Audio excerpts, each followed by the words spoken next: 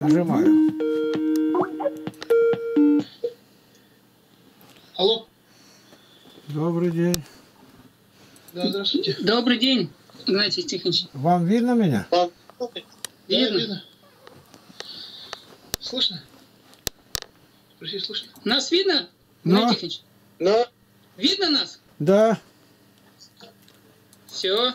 Слышно? А слышно хорошо, да? Да, и слышно неплохо. Говори.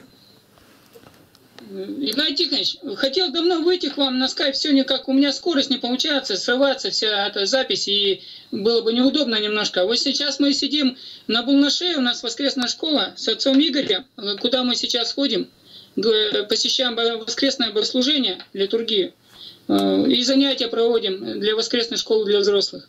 Вот. У нас такой вопрос. Так, Э, подожди, и мину- отец минутку, подожди.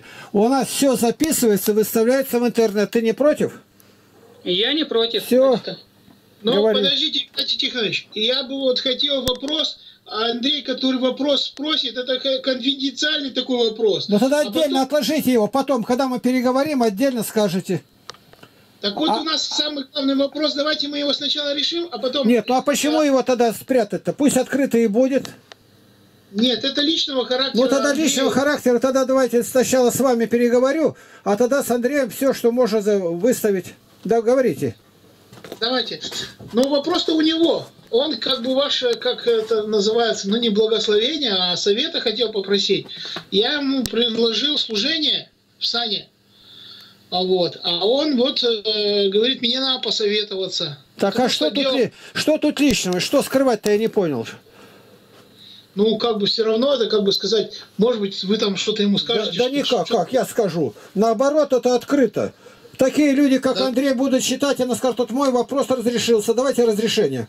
Не против, что я выставлю в интернет этот разговор? Нет, не- а ну вы, вы сами-то как думаете на это? Я считаю, что очень полезный. Скрываются Нет, люди в против, когда знают какая-то темная сторона. Тут все хорошие вопросы-то, заранее видно. Я вам про другой вопрос. Вопрос в том, что который я задал, вопрос, который и, он задает вопрос вам. Ну да, так Как то вы, вы- вы, вы не против, что это выставляется-то? Да нет, не против. Все, давайте, Давай. говорите, я слушаю. Спрашивай. Вот, Игнатий Тихонович, вот такой совет от отца Игоря поступило такое предложение э, пойти учиться на священника. Но у меня, конечно, внутри двоякие мысли, что идти или не идти. И ваш совет мне тоже все равно нужен. Ваше мнение об этом скажите. Понимаешь, тут первый вопрос тебе по семейному положению. У тебя жена, подходит, жена верующая? да. Канон, Жена верующая. ка- канон говорит так, пока всех в семье не сделаешь верующими, не имеешь права быть священником. Это канон. Всех в семье. Это правило никто не отменял. Это правило канона собора поместные, вселенские. Второе. Ты когда крещение принимал, знаешь, когда у тебя жена крещенная была? Она была крещенная в 98 году в сентябре месяце. То есть до этого она была не крещенная. До этого не крещена была. После того, как она к тебе ну, пришла или как сказала, что она крестилась, а после этого у нее измены тебе не было, Была. все, кандидатура твоя снята. Остальные вопросы можно не решать. Это канон. Канон. Тебе священником никогда не быть уже. Так что остановись на этом. Это канон. Поэтому правило, которое установили святые отцы, Шестой Вселенский собор, второе правило, говорит, это трубы Духа Святого. И посягать на это, значит, надо скинуть слово православие. Православное, значит, мы обязаны соблюдать священное писание, что святые отцы говорили. Семь вселенских, девять поместных соборов, книга правил. Вот тогда мы православны. А это пустой звук, вводящий других в заблуждение, Златоуст говорит. Тут надо так. Или-или. Допустим, ты женился, а она девственница. Ну, артистка, уже не имеешь права быть священником. Артистка. Как артистка? Как артистка? Ну, актриса, Пугачева там или кто-то. Актриса, она приравнивается к блуднице. Это православие. Вот если, допустим, ты был крещеный, ну не ты, это кто-то там был в детстве. Ну, мы его признаем крещение действительным? Конечно, мы же православные. Ребенка причащали. Но вот он вырос и в 17 лет впал в блуд. Один раз. А в священнике, когда задумал, 47 лет, но уже ему нельзя быть. Он не сохранил себя, он порщенный. Сегодня в православии, патриархии этого ничего не соблюдается, поэтому такой разврат, такое «Б» с большой буквы в церкви царит. Как говорится, женщина, которая без мужа отдельно называется, на букву, на букву «Б» называется. И когда Степаненко сказал открыто об этом, на него поднялись, как и архиерей, его отстранил от руководства там миссионерским отделом. Город Томск. Так что, если мы православные, значит, разговаривать не о чем. Ты вот что скажи себе, допустим, давай сейчас отложили, священником тебе не быть. Четко и ясно, спасай душу, какой ты есть. Но если бы ты был священником, скажи, ты знаешь своих прихожан всех? Если не знаешь, ты не имеешь права ее причащать. Если недостойно причащаешь, Иоанн Златоуст говорит, гибнешь ты и тот, кого ты причащаешь. Иоанн Златоуст также говорит, если одна душа, одна, погибнет по твоей вине, священник, о, священник, тебе всей жизни не хватит рассчитаться, ибо за эту душу Христос умер. А их миллионы погибают сегодня. Игнатий Тихонович, а вот как, как слова, если Христос говорит, грядущего ко мне не жену вон, пришел Вот, человек. Грядущего означает не слышал. Приходит когда. А для церкви, Я- когда принял уже крещение, я про это спрашиваю, после крещения. Он не изгонит того, кто впервые услышал. Разбойник на кресте, блудница пришла, волосами ноги отирала. Он не изгоняет никого, потому что они не знали. Но если ты узнал, назад повернулся, как пес на свою блевотину. И лучше бы не познать. Ибо дьявол берет семь злейших и входит в него. Мы осквернили православие. И поэтому люди массово уходят в сектант. Они живут более чисто, чем мы. Потому что у них слово. Вы очищены через слово. Дальше. У тебя человек, который ты узнал, допустим, ты священник, не отец Игорь, и он напился раз, говорит, до потери, там, ну, выпивает-то. Что ты будешь делать? Канон говорит, ты отлучай его на два года. На два. Ты не имеешь права другого. Вот у нас в общине есть юрист. Он закончил юридически с красным дипломом, то есть пятерки. Его сразу взяли в краевую прокуратуру, следователь по особо важным государственным преступлениям. Я не случайно это говорю. Но его везде, он постоянно в Москву летает, где там, ну, знает, как он может. Но он ничего не может говорить вопреки закона, как он, он закон знает. Сражается-то не за праведность, ни за что, а за закон. По закону кто кого подает. Я говорю, ты убийц, может, защищаешь где-то? Нет, говорит. Там такие бывают производственные дела важные, там между собой э, какие-то бизнесмены и прочее. Надо отнестись со всей серьезностью к спасению своему в первую очередь. Теперь у вас прихожане, вы их исповедуете, они посты соблюдаете, да нет, гастрит, перитонит начинает. Церковь определенно определила наша мать. Церковь православная, Феофан Затворник говорит, любящая мать. И она нам ничего худого не оставила. Вот это запомни. Не так, что, ну, это первым, там где-то первые века, а мы другие. Это ложь. Правила, которые дали святые отцы, они не, отменны. Почему канонизированный Иона, митрополит Киевский говорил, святые не показали пощады, от нас ее не ждите. У нас нет права на это. Если написано «злословящий отца и мать смерти умрет», он должен умереть был. Итак, человек сегодня не постится, на два года отлучается. Да у тебя за дверями стоять будет половина. Будут они стоять? Оглашенные изыдите обязаны выйти. Выйти, иначе литургии верных нету. И лица оглашенные изыдите, а потом двери-двери, премудрости вонным. Двери, то есть диакон обязан пройти, как пишет Симеон Солунский. Новая скрижаль. Вторая книга. Должен пройти священник или диакон, и диакон делает, и проверить, кто тут чужой есть, кто отлученный за неподобные поступки. Выйти в притвор.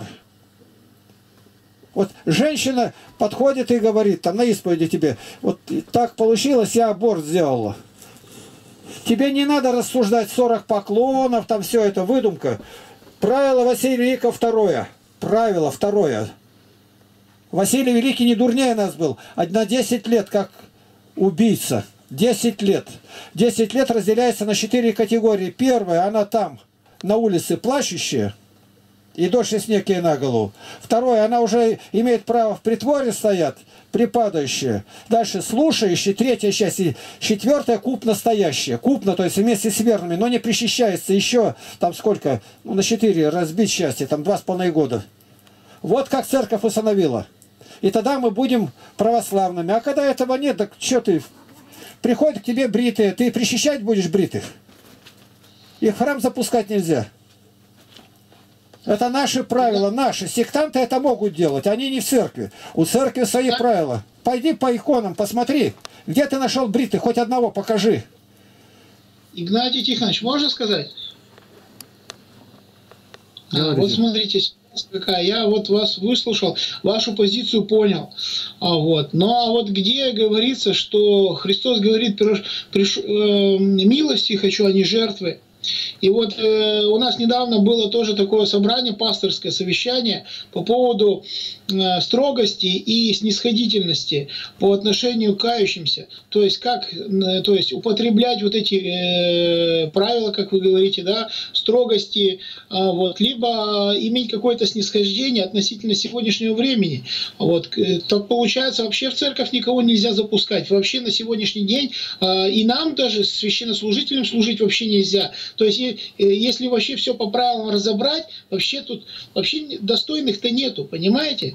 То есть, получается, из недостойных хоть кого-то, хоть как-то, понимаете, вот э, хоть хоть как-то, понимаете, вот все равно. А вот. То есть вот я, конечно, не знал о том, что у Андрея там э, проблемы были, потому что он же мне в этом, как бы сказать, не открывался. А вот.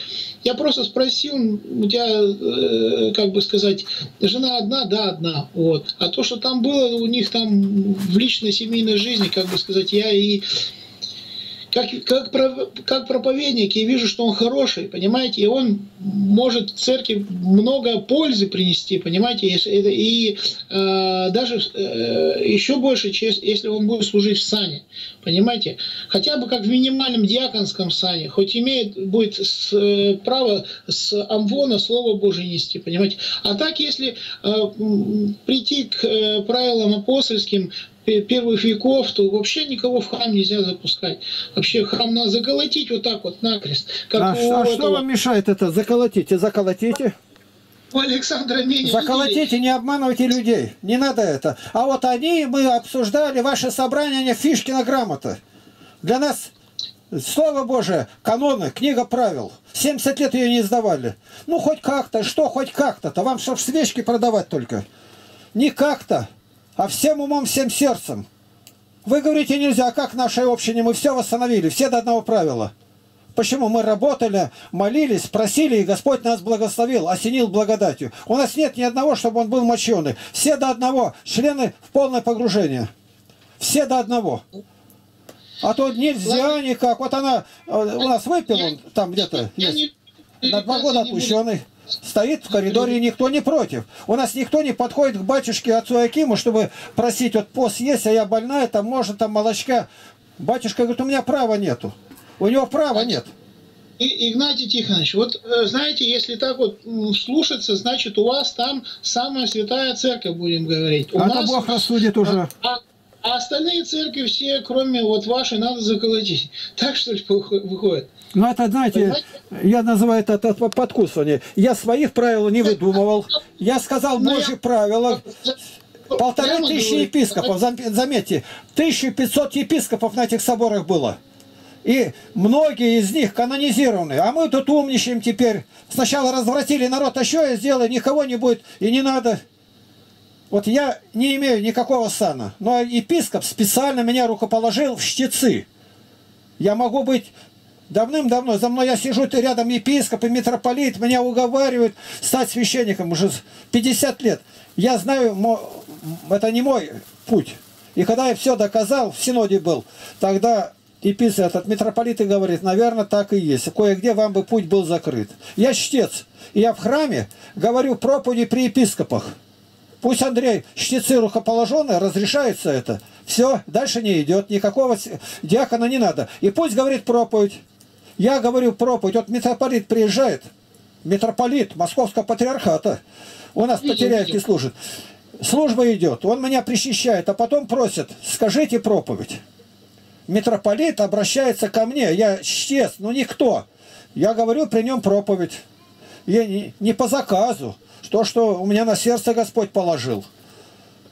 Так это не один, не два раза. Я буду рассказывать, ты не поверишь. Почему? А я никто, у меня ни образования нет. Но я 53 года у ног Христа просидел. И мы, Андрей расскажет вам, где мы прошли с миссией. Поэтому Андрею не надо это. Чтецом будь.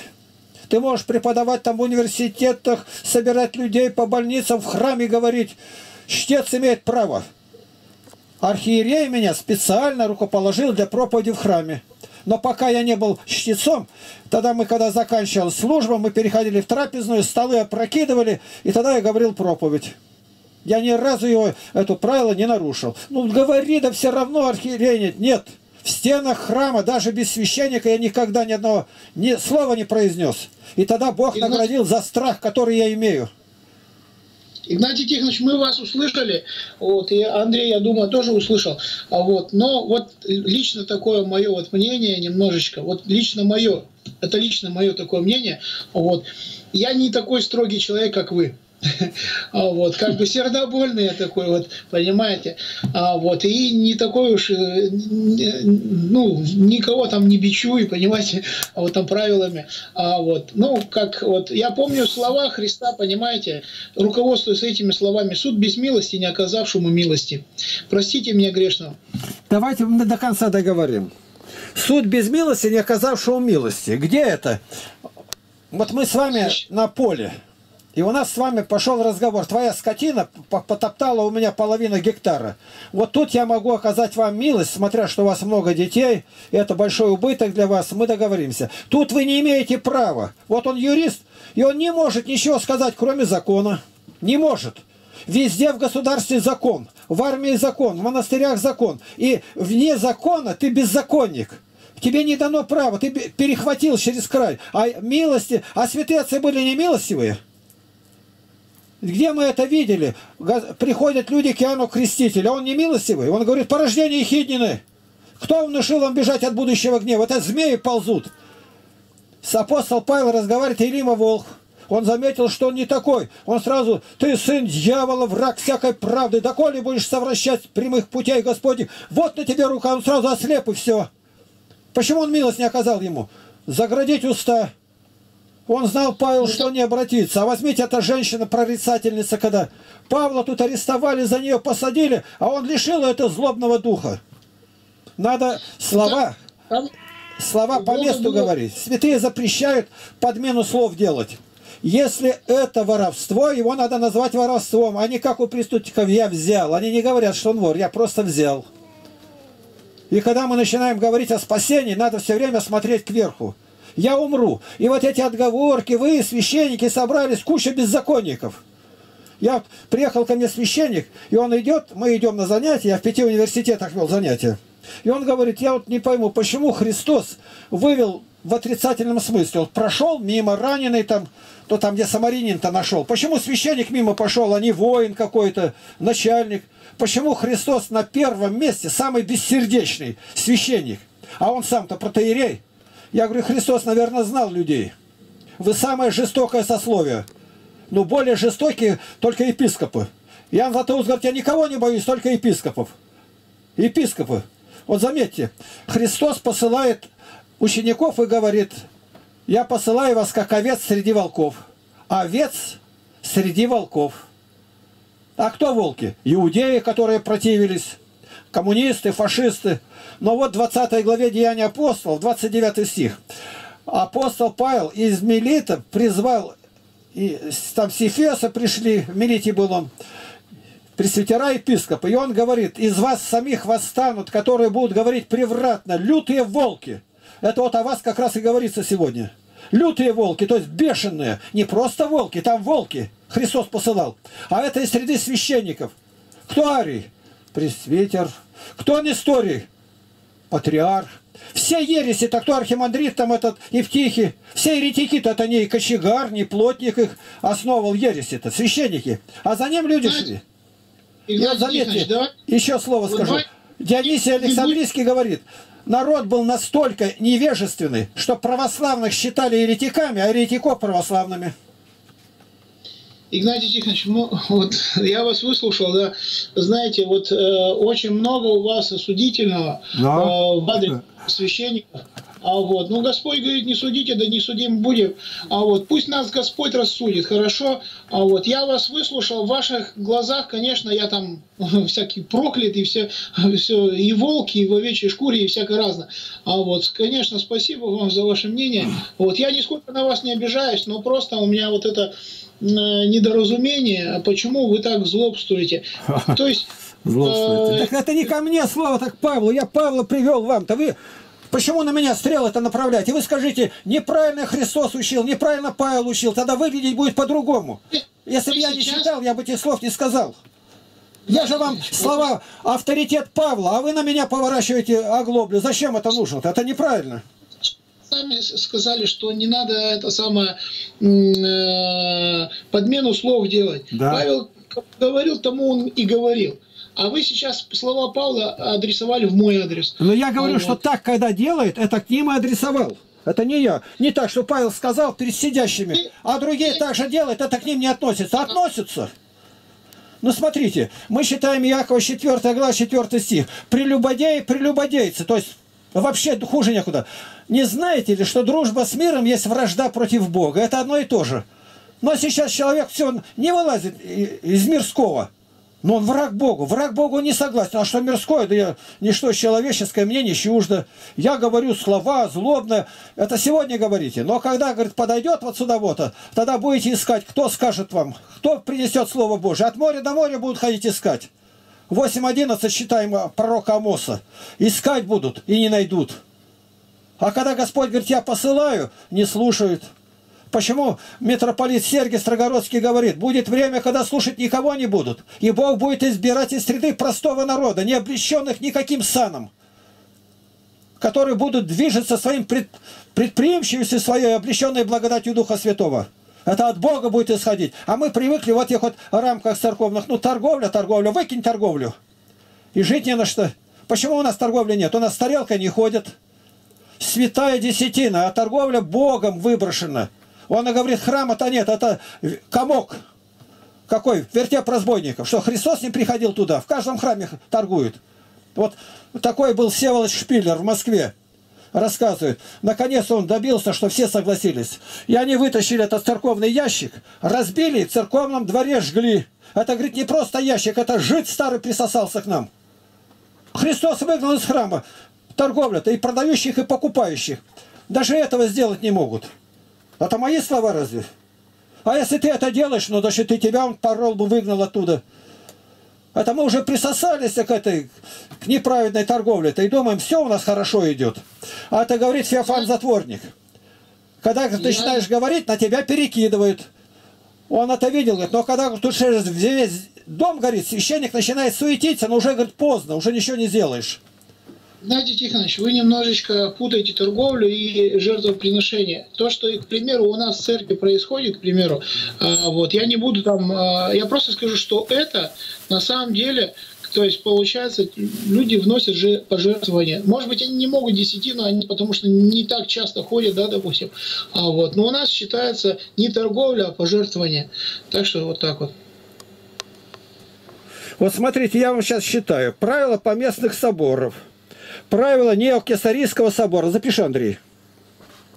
На меня не надо это поворачивать. Это не мои слова-то. А дальше посмотрите, сколько святых отцов было. Неокесарийский. Запиши. У меня ручки нету, знаете, Ну, я плохо. не на месте. не Неокесарийский. Правило восьмое. Слушай. Аще жена некого мирянина, прелюбодействов, обличена будет в том явно, то он не может прийти в служение церковное. Аще же по рукоположению мужа впадет прелюбодейство, то он должен развестись с нею. Аще же сожительствует, не может касаться служения ему порученного. Ну что, ну это я говорю. Маленько, ты думаете, что вы говорите-то? Я вам сказал, ну и вы ко мне пришли. Я сказал, вот такое правило. Смотрите, книга правил, изданная в православии. Я услышал, но правило там гласит, если будет обличена явно. Никто ни- никого явно не обличал. Это у них там между собой там скрылось. Между всё. собой, то есть это известно. Смотрите, издано где-то. Я сейчас прочитаю. Правила святых апостолов, святых соборов, вселенских поместных, дальше общество. Это издательство имени святителя Льва Папы Римского. Москва 2012 Это наши святые. Издано как, сейчас вот здесь написано, по благословению Преосвященного Иова, епископа Каширского. Возьми. Таких правил у нас сегодня, отец. 413 правил нарушается в храме. Еще нам за это Бог скажет хорошо. 719 правил, из них 413 каждый день умышленно нарушается в храме. До 30 лет рук полагают. Зачем до 30 лет, когда указано 6 Вселенский собор 14-15 правила? Правила не объясняются. Сказано и все, но это правило объясняется. Ибо и Христос вышел не ранее 30 лет. Это выше Христа лезут. Игнатий Тихонович, вот я знаю об этом, но я никого не осуждаю. Это во власти епископской, не в моей власти находится. А вот. Отец, давайте договоримся так. Я прочитал правила, а вы делаете вопреки правилам. Это вы осуждаете. Не, вы осудили 430 епископов, которые на этом соборе были. Вы осудили, а не я. Если вы их не принимаете, значит вы их осудили, как сектанты. Какое-то православие, когда мы самовольничаем. Нет правил. Вот у меня, допустим, хорошие отношения с губернатором. Я пришел и говорю, я приду, в гости приглашаю, он приходит, вместе обедаем. Я говорю, дайте мне путевку в космос. Подождите. Он говорит, так у меня власти нет этого, это не может быть. То есть определенная власть у каждого есть. Вот священник может кого-то рукополагать? Не может. Ну, окажите милость, ну что вы такие жестокие, я буду сейчас к вам приставать, если у меня власти нету, это дело архиерейское. Ну, мы знакомые, ты меня знаешь, я достоин, ну, рукоположи меня в священники, возраст позволяет. Не можешь ты это делать. Итак, то, что я вам говорю, это каноны, их никто не имеет права трогать. Значит, ты заранее должен сказать, я презираю каноны, назови вещи своими именами. А вот они, добровольное пожертвование, это лукавство, еще хуже торговли добровольное пожертвование за крещение, там 500 рублей, 600 рублей. Все смеются, стоят. Добровольно ты вышел, я тебе в карман положил. Вот это добровольно. Нищему подал, добровольно. Собирают деньги там на улице выше, храм строить надо. Добровольно. А это не добровольно. У нас свечи горят чисто восковые. Ни одного грамма нету примеси никакого. Спасики покупают воск, чисто живущие там пенсионерки, они выливают сестры, и священник ставит сколько надо. Да аромат-то какой стоит. Как Серафим Саровский говорит, какие свечи ставить надо? А мы привыкли жить в этой в грязи, и поэтому нас православных-то никто за христиан не считает уже. Когда в сектанты уходят, говорят, а я был когда неверующий, а ходил всю жизнь в храм. Мы должны однажды взять, как, как Солженицын говорит, по хребту себя проскрести раза два, то увидеть, кто мы такие. Я не могу, можешь. Не обманывай сам себя. Скажи, я обязан, Бог повелевает мне. Нельзя лукавить. В Ветхом Завете правила были какие? Если сын не слушается, пьет, ну, выпивает, из дома тащит, наркоманит, родители обязаны не скрывать, а пойти и сказать старейшинам. И выведут его, и побьют его камнями. Так это не имеет значения. Если она вышла замуж, она не девственница – приведите к дому отца и убейте. Это закон был, он выполнялся. У мусульман 100% сохранности девственности, а у нас в восьмом классе нельзя найти. Почему? А потворствует везде. Да вот время такое. Где вы нашли такие слова «время»? Христос вчера, сегодня, во веки тот же. Тот же самый. Такие же люди были похотливые, на них каноны лежали. Каноны, и все боялись. Вот человек Кашпировский, волшебник, приходит в храм, причащается. А почему? А 18 лет отущен он должен быть. А ты ходил, лечился, священники сидели, заряжали чумака там, когда священники, я знаю, участвовали. На 5 лет ты должен быть лишен. А если священник, видимо, и сам снимается. Вы не придумайте свои правила. Не будьте милосерднее святых, которые показали. Это не милосердие, это потворствование. А ты вот человека берут, допустим, на, на, на дороге. Один раз нарушил он, и показывают, как его приводят, врач осматривает его в Таиланде. Дальше привязывают вот так вот, положено там 40 ударов, и порит, и как с него кровь течет, а потом под руки уводят. А сколько там? Один за год. А у нас скольких людей подавили? 80% в пьяном виде. А речь идет о десятках тысяч погубленных, авариях. Почему? А у нас все разложилось. Государство-то все тленное. А ввели э, в эти правила-то, и все кончилось. На дорогах почему не разрешают на красный свет ехать? Вы на красный свет все время едете. Запрет, все кончилось. А то батюшка разрешил посты нарушать. Да какое ты имел право? Зачем ты разбойничаешь над душем? Я не к вам говорю. Ты не имеешь права, у тебя нет его права. Так к нашему батюшке никто не подходит. Знают, что нельзя. Вот мой отец Аким, брат родной, протеерей, он приехал, ну, там где-то, я сейчас не знаю где-то, он был настоятельным в Тобольске, вот приехал и в отпуск ездит там по мощам, в Дивеево, и священник говорит, людей много, помогите мне исповедовать. Устал я, говорит, ну батюшка остался там 120 человек на исповеди. Батюшка вышел, он сказал, я буду по канонам исповедовать. Он говорит, так и сделай. Говорит, я ничего не могу сделать. Он вышел, обратился и сказал, кто не постился, Великий пост, исповедовать не буду. Осталось человек 30, может быть, бабушки одни. Теперь стоят старички, и он говорит, бред их не исповедую, пока не отрастут бороду. Все. Давид не пустил в город без бороды, полбороды не было. В город Иерусалим, а мы в небесное идем.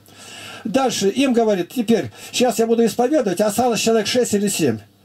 Но вы придете домой, просчитайте перед причастием там канон, который установили. Все исповедовал, все в норме. А остальные сразу задумались, а почему наш батюшка не говорил? Тебя спрашивать будут, архиерей, это твоя паства. Мы точно так же в этом мире живем, и ни один не нарушает пост, ни один. Ну вы же знаете, что люди-то сплошь и рядом пост нарушают. Ни один среду пятницу не нарушает. Они это знают? Знают и, дел... и дети не нарушают. От груди отсажены, уже исполняет. У нас у мамы было 12 детей, никто не нарушал. А как это? Бяха нельзя, и все. Вот включите эти правила, и вы увидите, как засияет церковь, как любящая невеста Христова. Игнатий Тихонович, можно вопрос? У меня Конечно. вопрос возник. Вот вы про бороды говорите, бороды брить нельзя. А в Ветхом Завете нельзя было обрезать, то есть нужно было обрезываться Правильно. мужчинам. Так. Вот. И получается, апостол Павел отменяет обрезание, да, получается? Да. А, вот, а почему отменяет? Он не отменяет, Но... а возвышает. Ну вот, получается ситуация какая, э, то есть формально обрезание во Христе, тот крестился, тот уже обрезался, вот, да? Вот, Получ... вот. Послание вот, к Колосинам, получ... Павел говорит, вы обрезаны, будучи крещенные. Пояснено нам. Бог да. не отменяет, а возвышает, Златоуст говорит. Суббота не отмененная, она возвышена до воскресенья. Вот. А получается относительно бороды, как это делать? А так, Христос как совершенный человек с большой буквы был с бородой. Все апостолы с бородами. На любой иконе. Вам, православным, не надо доказывать. Вы пройдите, посмотрите. А это что? Блудодейная ересь. Мы идем в небесный Иерусалим. Вот заметьте, у Якова была дочь Дина, 12 сыновей. И она вышла там посмотреть-то. А его там княжеский сын там, Сихем, сын Емора, снасильничал. И написано, она была обесчещена. Ну, они вырезали город за нее. Дальше. Когда Давид послал слух своих к Амнону, там умер на царь, то сказали, это, говорит, Савидата. И он взял полбороды, обрил полбороды. Одежда. Твой по одежду попал, отрезал половину. Давид узнал, ну, ну что особенного? Вот он их не пустил, отослал в город Ерихон, город проклятия, пока не отрастут бороды, они каждый день мерили. Теперь, ибо они были очень обесчещены. В Библии ни одного слова лишнего нет. Изнасилована была обесчещена, а здесь очень, то есть это хуже изнасилования. Согласно Слову Божие, Святой Библии в Новом Завете. А вы посмотрите, где вы найдете, ну кто, Ян Златоуст с бородой, я, Никола Чудотворец, Ян Кронштадтский, Серафим Саровский. Нет бритых ни одного. Что вы тут выдумываете-то? Человек приходит от мира, он привык бриться. Ну и пускай и бреется. Как... Какое отношение к церкви? То он никуда не пришел. У нас ни одного безбородого нету. И пока у него бороды нет, его никто крестить не будет. А почему? Вам скорее надо крестить, иначе его машина задавит. Кто пошел в храм креститься, все машины собрались и ждут, когда он выйдет, чтобы задавить его. Вы придумали басни. Откуда вы это взяли? Если он пришел, то написано каноны от трех до пяти лет оглашение идет. У вас оглашения-то никакого нет.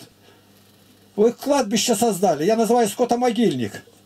Христос, говорит, пришел к погибшим овцам Израиля. К погибшим. А где скотина валяется, это скотомогильник, это не кладбище. И никто не обижается. Сегодня я говорю, это скотомогильник у вас в храмах-то. Вы прекратите безобразничать. Ты должен выйти к народу. Я вот так вот проповедовал, и два священника сразу покаялись. Один из них игумен. Они вышли к народу и сказали, мы совершенно неверующие. Мы друг перед другом только величались. Мы без ваших подачек прожить не можем. Апостол шил своими руками. Своими руками. У нас у батюшки около ста вещек. Жена агроном. Ему не надо ходить с тарелкой. У нас тарелка не ходит. У нас нигде деньги не фигурируют. Вообще нету.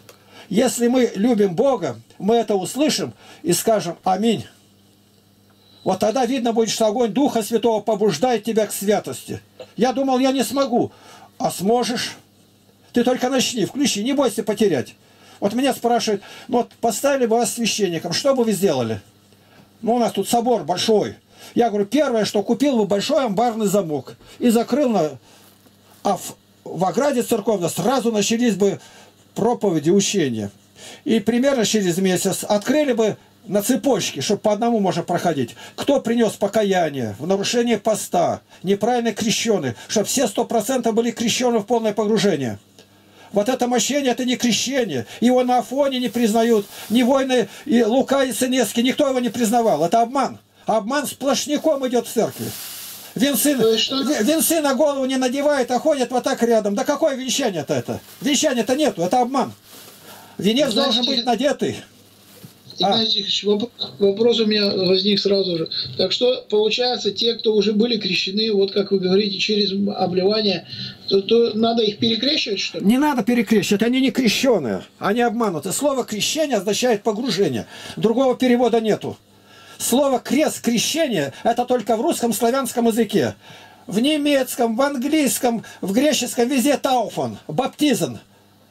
Погружения нет, ничего нет. 50 правило. Говорит, если был, это, не был троекратно погружен, ты так крестил, тебя извергнуть надо. Ты уже изверженный. Игнатий... 50 апостольское правило, запишите себе. Если меня крестили, вот как вы говорите, обливанием в 90-х годах, то что получается? Приехать по Теряевку и креститься. У нас приезжают, приезжают архимандриты, крестятся, возвращаются и начинают дальше служить. Мы патриарха пригласили, чтобы преподать ему крещение. Все выправляется, все. Не бойтесь, не держитесь за свое грешное место. Вам перед народом надо выйти и покаяться. Неправильно крестил, торговля, не учил. Прости меня, Господи, помолитесь за меня, чтобы меня Бог не убил на этом месте. Как сыновей у Аарона, двоих сразу Бог убил. Почему? Потому что пришли с чуждым огнем. Я не знаю, что такое чуждо. От папиросы, свечки зажигали. Бог убил их и не спрашивал. Вышли 250 архиереев. И Бог сразу сжег их огнем. А в Новом Завете написано то, сколь тягчайшему повинны будете наказанию когда Духа благодати оскорбляете. Читайте послание к евреям. В Новом Завете намного страшнее. А то вы расслабились и встаньте на ноги и скажи, Господи, с тобой все возмогу. Ну, укрепляющим моих Господи. Да, конечно. Не лезь священники. Пусть батюшка благословляет, епископу съезди, чтобы он тебя рукоположил в чтецы и проповедуй. Пока не чтец, в храме не проповедуй, в ограде можешь. Вот это видно, что ты уже испугался Бога. А страх Божий, написано притча, 1 глава, 7 стих, начало премудрости. Мы православные, заметь, мы православные, здесь говорится без дураков, не надо играть. Я православный, значит, все, что отцы сказали, я должен принять. Не надо умничать. Спасибо за совет. Спаси Христос. Батюшка, вы только не обижайтесь. Я не, не, конкретно я вас не знаю, я не к вам говорю. Игнатий Тихонович, я знаете, каким руководствуюсь правилом? Меня никто никогда не обидит, если я сам не обижусь. Правильно. Меня никто из себя не выведет, если я сам из себя не выйду. Я не осуждаю. Как я могу осуждать? Я говорю правила, правила. Я кто меня никогда из себя не выведет, если я сам из себя не выйду. Да, я повторяю, батюшка, 413 правил в каждом храме нарушаются. Это что, игрушка? Ну, 413 гаек открути от машину, куда она пойдет? Игнатий Тихонович, я смотрел ваши передачи, я в курсе. Но главное, говорят, еще нельзя сделать. Я на это отвечаю, да ничего еще не делали. Меня вызывает священник, и мы начинаем говорить. И в первого дня все, прекратить причащать. Готовьте людей к крещению. И церковь сразу обновляется. Вот смотрите, 249 год от Рождества Христова. Церковь расслабилась, а все по институтам живут там так. И вдруг приходит Деки в 249 году. Император Деки. Он как ударил. Деки. А, а церковь такая пыль пошла. Но за три года церковь полностью обновилась. Как только обновилась, сначала люди все отхлынули от церкви, от гонения-то. А потом, когда гонение-то, как попало, уже верить не будешь. Там впереди так эшафот. И в 251 году церковь наполнилась новыми людьми, огненными, а его убили. И церковь освободилась от гонителя. Надо довериться Богу. Перекрещивания никакого нет, были люди обманутые. Мощение это, это мощение. Обливание дается в трех моментах, разрешается. Как облить? То есть раздеться до гола и три ведра вылить. У тебя нет водоема. Где? Первое. Э, разрешается клиники. Он раздавленный, лежит там, все кости, его нельзя шевелить. Это первое. Это разрешается, канонами разрешается. Но этот человек, если выздоровеет, священники ставить нельзя, он бракованный. Это канон говорит. А у нас сегодня лепят и блудников, и наркоманами. Вот он в Красноярском крае поставили священником, служит, а тут милиция пришла, обнаружили его, вот он где попался, сразу арестовали его в тюрьму, уголовник. Это надо смотреть. Второе. Это клиник называется. Дальше. Необходимо помнить, что люди иногда попадают в тюрьму и обращаются. Водоема нет, там разрешается в тюрьме. Ну, в вузах где-то там арестовали. Он раздевается. Обливание. Весь водой должен покрыться. Третье. В степи пленение у татар.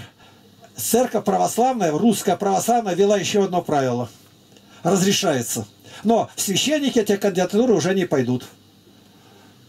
Вот какие правила. Потому что наша церковь мать строгая, любящая, милосердная. Я вам считаю правила не, не мирские, я показываю книгу, книга правил, которая действует у нас в церкви. Если ее книги правил нет, то никакого православия-то нету. Оглашенные изыдите, никто не выходит. У вас литургии-то нет, а некоторые священники вообще эти слова выбросили. Ты включи это, ты увидишь, написано из посторонних, 5-13 деяний апостолов, никто не смел пристать, никто. А сейчас все посторонние лезут. Я был в Киеве, стоял около дверей, ну, им около двери-то рядом-то хорошо видно-то. За час вошло, вы, зашло и вышло 750 человек во время службы литургии. Это что, церковь? В церкви никакого хождения, у нас ни один шаг даже не имеет права переступить. За 7 минут дошли полное молчание. Все знают, как перекреститься. Как попало рукой-то не машут вот сюда вот. А, чтобы у тебя крест был в страхе. Небрежному маханию руки бесы радуются, Ян Златоуст. Мы бесов тешим приходим. Ну, как Макарий, когда увидел, демо, это, дьявол идет, а куда идешь? Он говорит, в храм. А что ты разве бываешь? Он говорит, ни одной литургии без меня нету. Вот это ответ. А однажды настоятеля нету, а ему глаза открылись, он видит, стоит вепер, дикий кабан с обрезанными ушами. Нам бы, если глаза-то открылись. Вот считайте, Макарий есть египетский, а то Александрийский. И он стоит в храме, люди причащаются с причастием, с причастием, а ему Бог открыл. Священник руку протягивает, а ничего нету. Стоят демоны и в рот уголь толкают. Вот как причащают.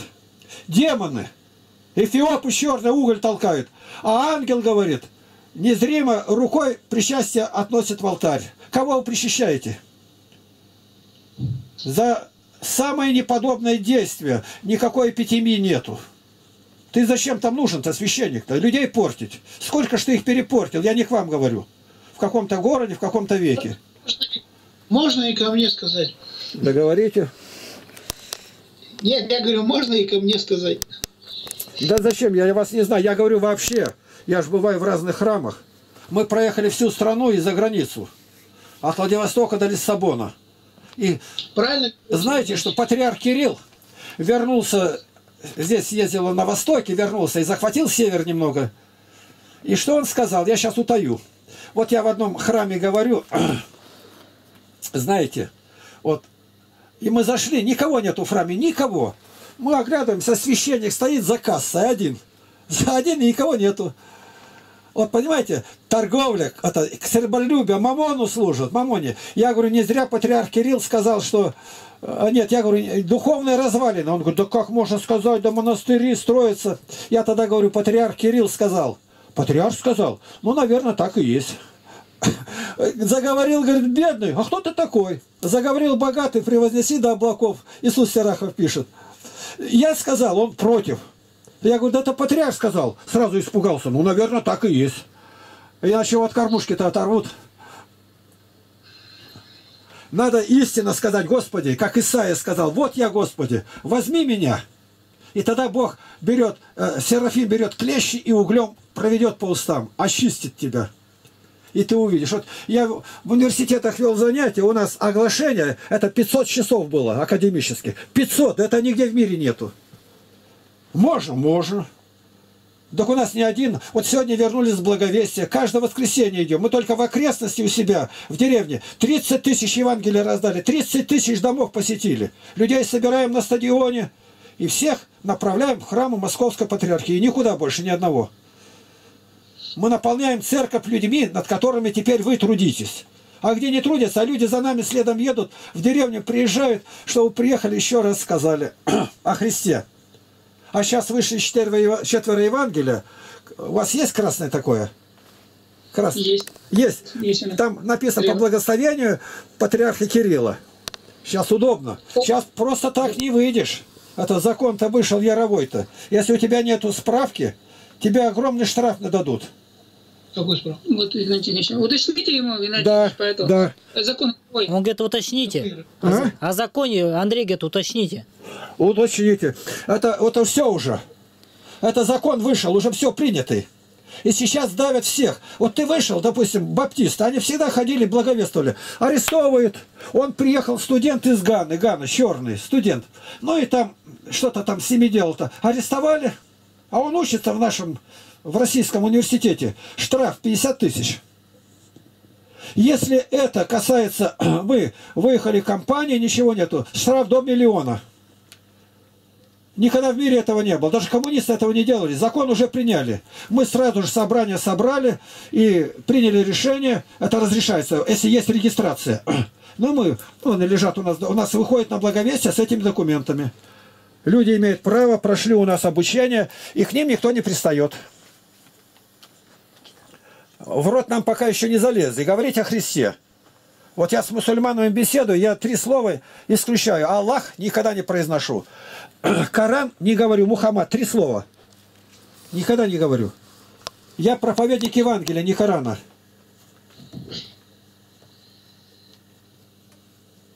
Вот так.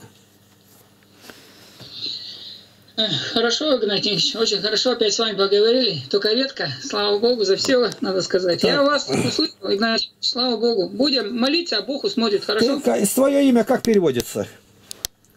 Э, а, Андрей, храбрый. Храбрый. Вот я хотел сказать, будь храбрым. Будь мужествен, как лев. Да, да. Никогда не говори ни что. Ты тебя, может быть, э, вторая половина удерживает от шага необдуманного.